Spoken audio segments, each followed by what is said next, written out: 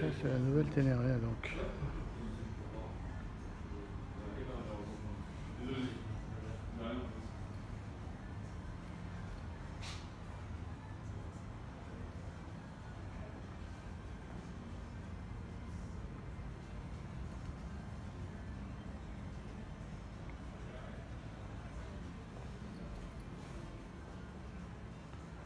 Elle en plusieurs couleurs. Je pense que là, c'est une super Ténéré parce qu'il y a un, double, double réservoir. Elle est monstrueusement euh, énorme à l'avant.